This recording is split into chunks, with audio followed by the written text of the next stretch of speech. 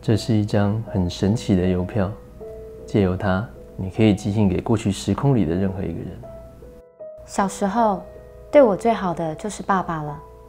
虽然爸爸工作很忙，但是每天都会抱我、陪我、喂我吃饭、教我骑单车。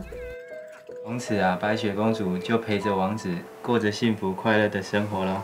宝宝，那你可以陪我到长大吗？当然可以啊。爸爸会一直陪着你，不管我在任何地方。八岁那年，爸爸告诉我，他要出国工作一阵子，要去多久还不一定。每隔半年，他都会从工作的地方寄信，还有礼物给我。爸爸来的信跟礼物，好可爱啊！亲爱的瑶瑶，爸比呀，好想你哦。爸爸现在在美国，美国什么东西都好大哦。送给你的这个小熊啊，是纽约的小熊，喜欢吗？爸爸来信跟礼物。爸爸的工作啊，还要忙一阵子哦，可能没有这么快回家。你要听妈妈的话，乖乖吃饭哦。亲爱的瑶瑶，爸爸最近啊，工作的地方换到加拿大了，可能还要待上一段时间。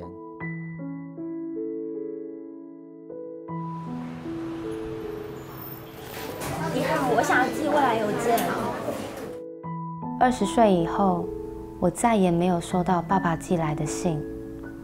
其实我知道，爸爸走了，很久之前就走了。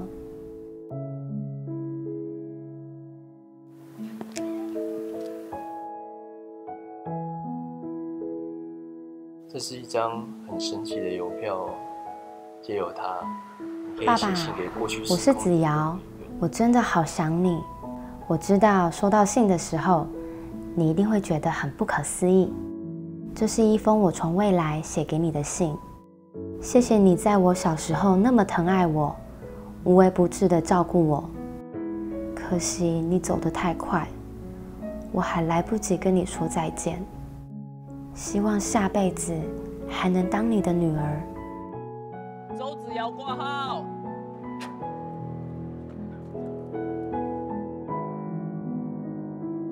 最爱的瑶瑶，我是爸爸，你的信我收到了，很遗憾不能兑现对你的承诺，也没有好好的跟你道别。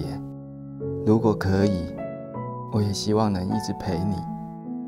如果真的有下辈子，希望我还有缘分再当你的爸爸。我永远永远爱你。